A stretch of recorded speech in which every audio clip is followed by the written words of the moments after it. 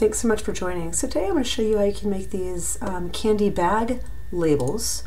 Uh, and this is kind of what they look like. These little cellophane bags that you can buy at Michael's or Joann Fabrics or pretty much any craft store.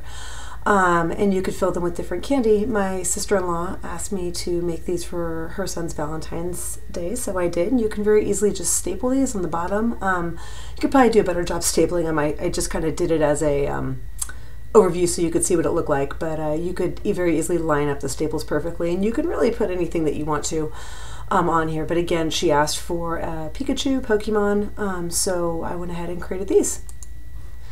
All right, um, so this is what they look like in Word uh, before you print out. And as you can see here, there's these light gray lines. And when you take a look um, within here, you can you can't see a, a, tiny bit of that light gray line up there, but I still think they look pretty cute. And again, the gray line just gives you an overview of where you should cut. All right, so let's go ahead and show you how you can create these. Very first thing we're going to do, oh, actually before we get started, I also did want to point out that I do have a YouTube channel and uh, on my channel I do show you how to make everything from bunting banners to um, invitations that look like tickets. I am working on another concert ticket, um, but these kind of came up and they're pretty easy to show, so I thought I'd add this video in here. I also do want to point out that we have searching, installing, and using symbols for fonts. If you do not know how to download and install new fonts, please watch this video and it will clear things up. Please subscribe to my channel and or like any of all my videos. I would be so appreciative. All right, let's go ahead and recreate this. The very first thing we're going to want to do is go to File, New, blank document.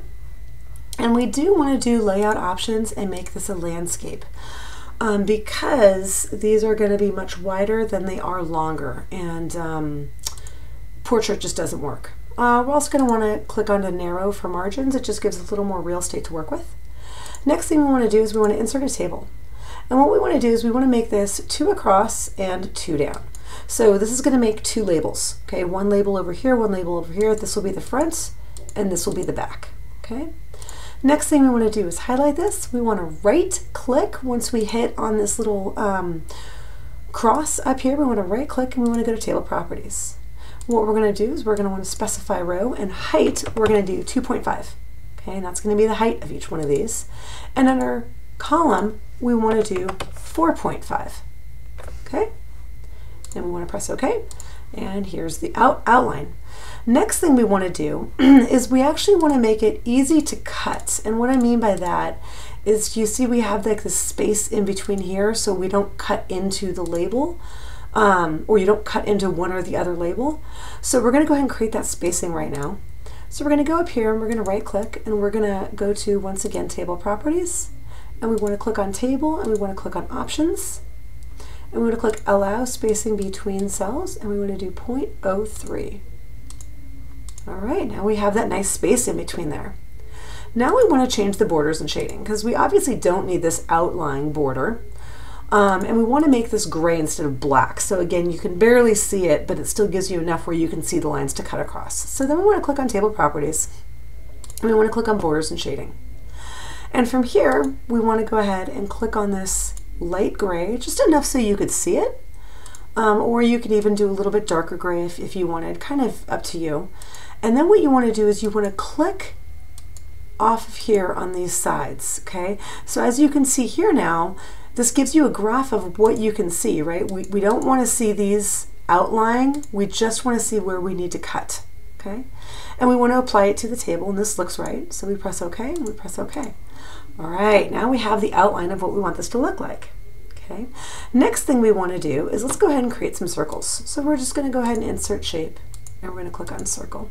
And we're just going to click here and we're going to do a control C or right click and we could do copy and then we can just do a paste and then we can click again and do a paste and we could click again and do a paste. And we just kind of want to move these around so we can make these bigger or smaller. And now if you're um, um, a little anal and you want to make the circles exactly a circle you could always go up here and make this you know 1.21 If you don't care and you just want to eyeball it, you can do that as well.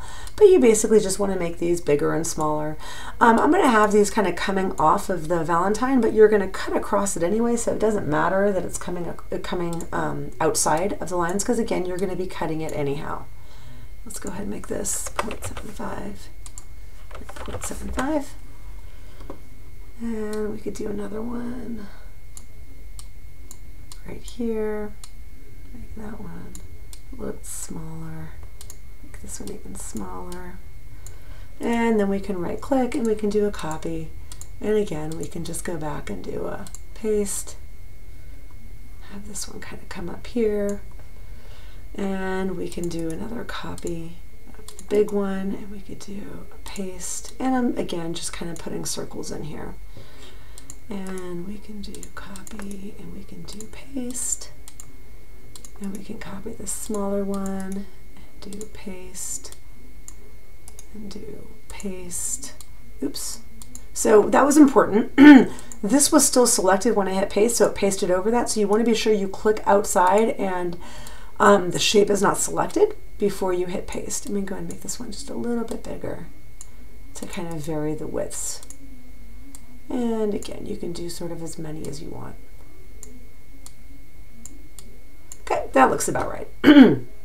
All right, now what we want to do is we want to click on Format, and we want to do a shape fill. Let's do this one purple, and we want to do a shape outline of purple. And down here, let's go ahead and do a shape fill of red, and let's go ahead and do a shape outline of red. And up here, let's do a shape fill of orange and a shape outline of orange. And over here, we can do a shape fill of yellow. And you just want to go ahead and randomly change the colors of these. And let's go ahead and make this one. I don't think we have a green one yet. Let's go ahead and make that green. And let's go ahead and make this. I don't think we have a dark blue one yet shape outline of dark blue, and let's do this one orange. And again, you can just kind of willy-nilly pick these colors.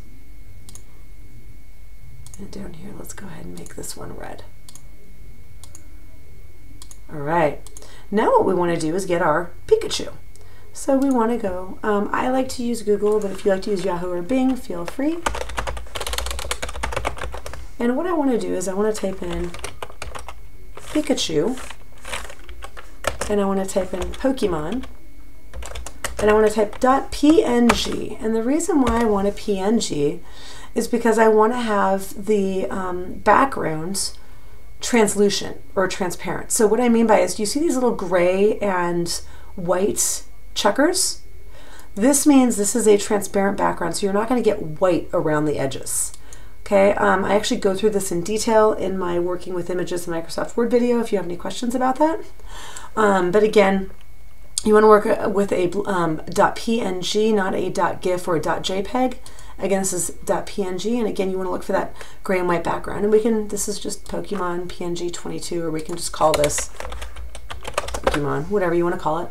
Okay, and we can go up here and minimize.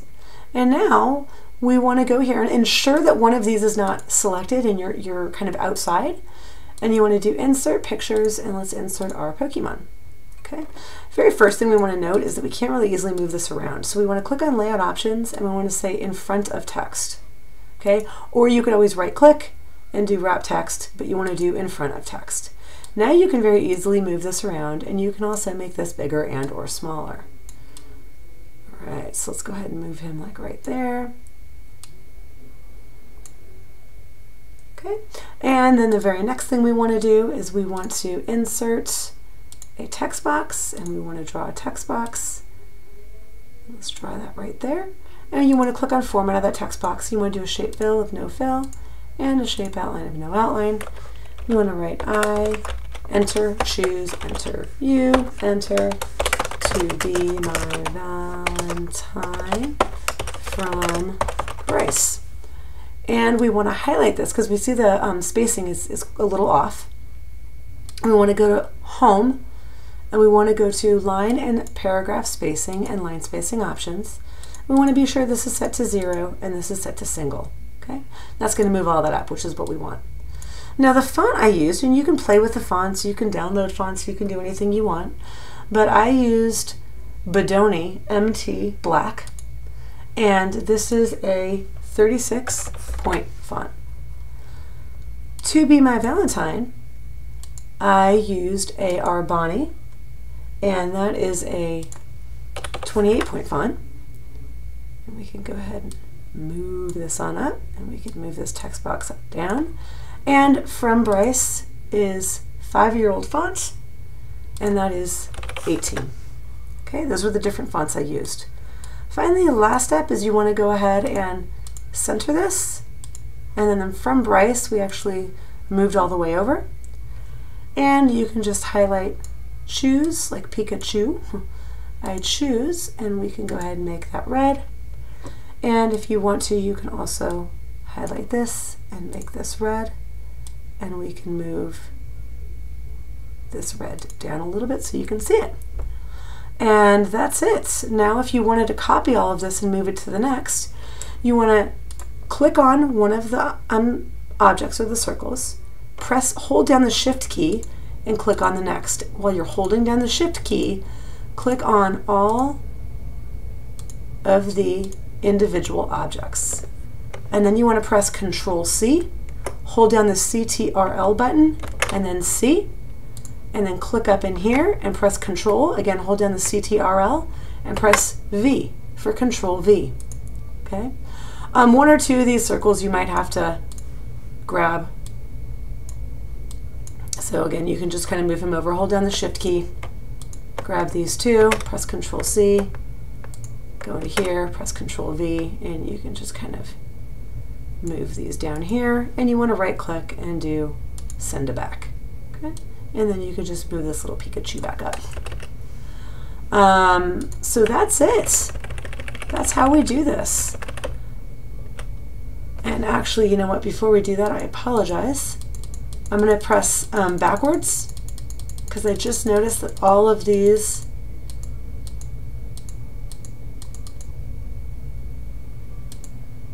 Okay, so I want to, and I apologize, I noticed they were all down. You want to hold down the shift key, press control, highlight everything.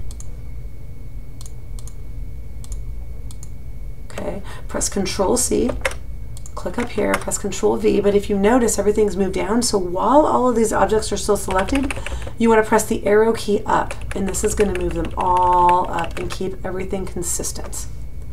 Okay, now from here you can just move this little Pikachu over, highlight these two. Nope. Press Control C, press Control V, move these guys over, and then press right click and do send to back. Okay, there you go. And that's how you can very easily create these um, really cute candy bag wrappers and or labels. And we can move the I choose you down here a little bit more. There we go. And that's how you can very easily recreate these. I hope you found this useful. Um, you can use these again not only for Valentine's Day, but birthday parties, favors, anything like that. Again, I do man manage and monitor the chat lines on my YouTube channel, so please, if you have any questions or if you have any recommendations for videos, please put them on there. Um, I am working on creating a backstage pass for dance. Thanks so much. Please like my video as well if you found it useful. Bye-bye.